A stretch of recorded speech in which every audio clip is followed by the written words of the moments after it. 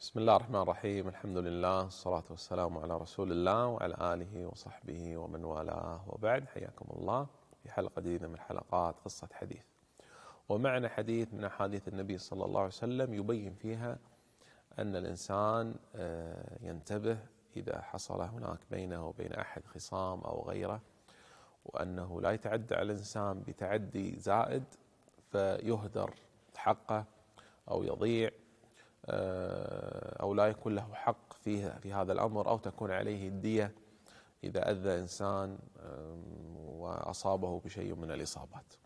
وهذا الحديث النبي صلى الله عليه وسلم يبين ذلك وله سبب وله قصة.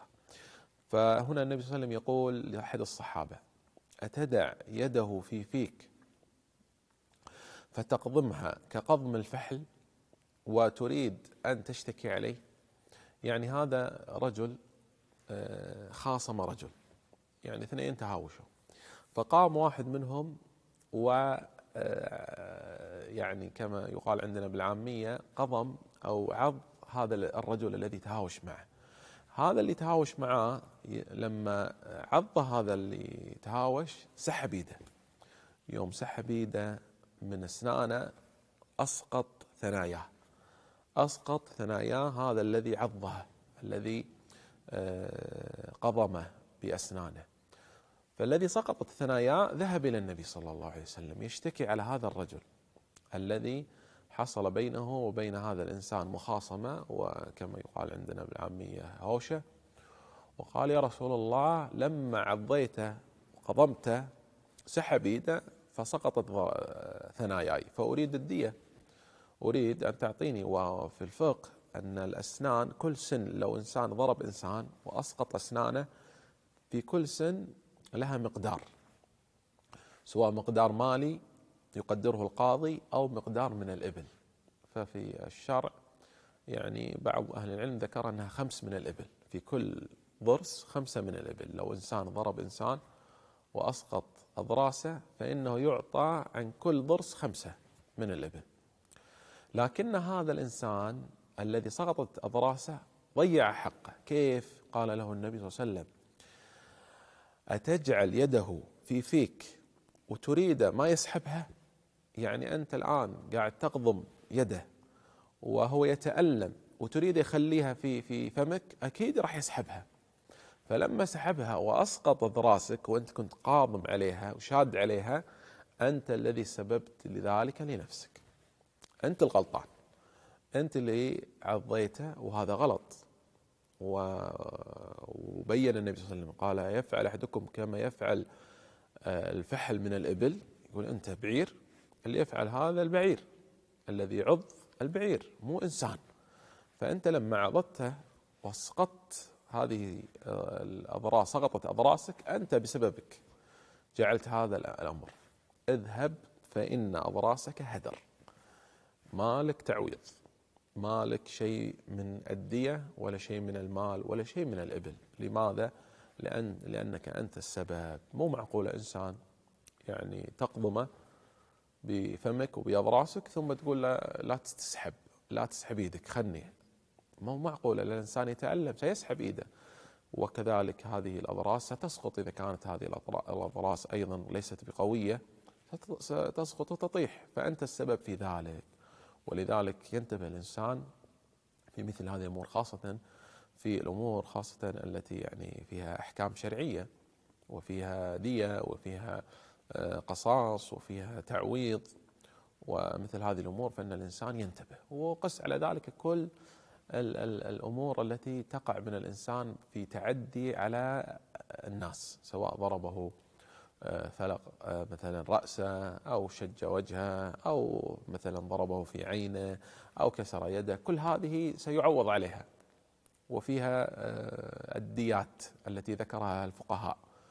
آه، العينين فيها دية كاملة. عين واحدة فيها دية واحدة أو نصف الدية.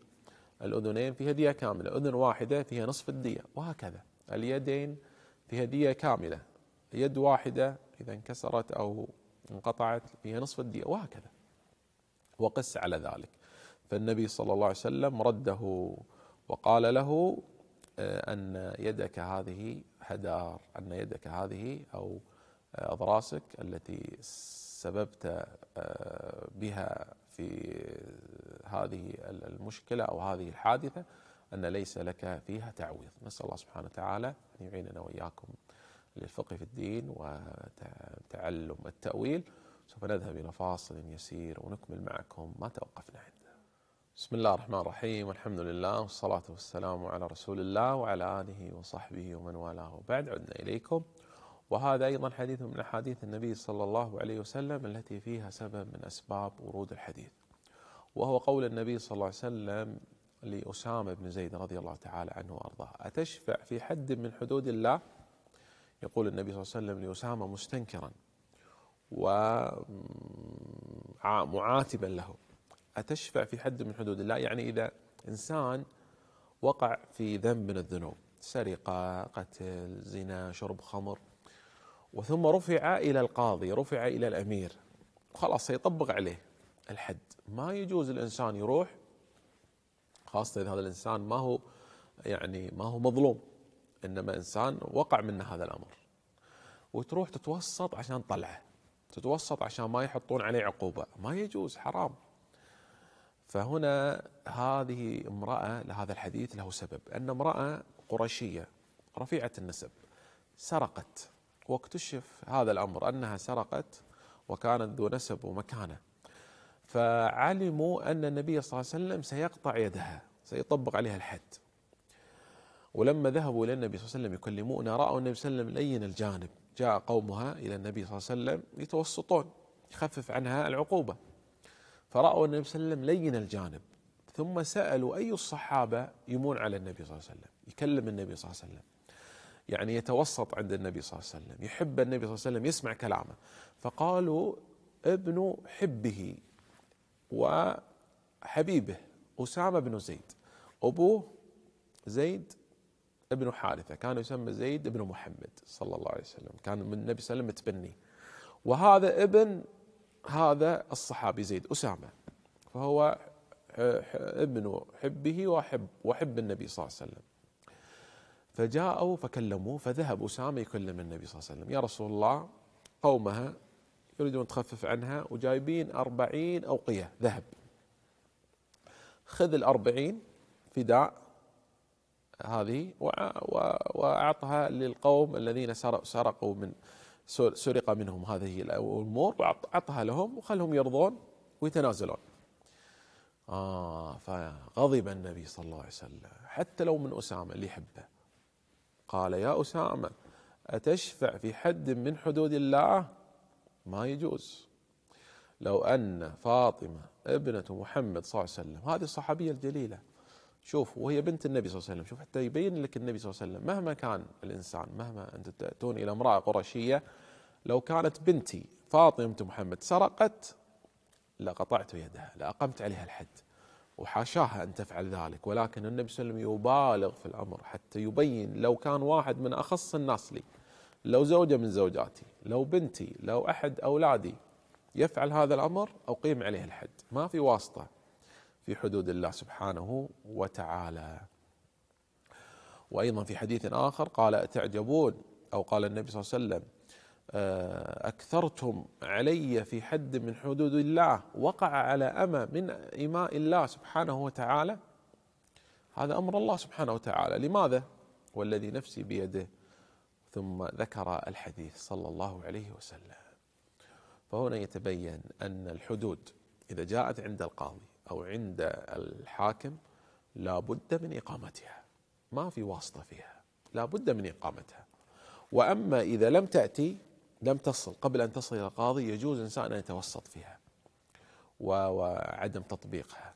وأن لا يقام عليه الحد أو لا نحلها ودي نحلها ما بين هذا الذي سرق منه ناخذ هذا الرجل ونخليه يعتذر ويرد اللي سرقه وهكذا.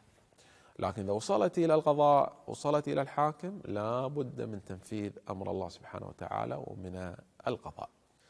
وفي الختام نسأل الله سبحانه وتعالى أن يوفقنا وإياكم لما يحب ويرضى وأن يأخذ بنواصينا للبر والتقوى وإلى حلقة جديدة من حلقات قصة حديث.